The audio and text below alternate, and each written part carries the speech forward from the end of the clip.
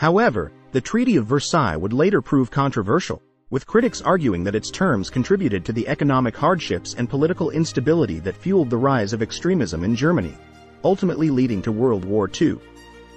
The debate over the treaty's fairness and effectiveness would persist for years, shaping historical perspectives on the aftermath of World War I.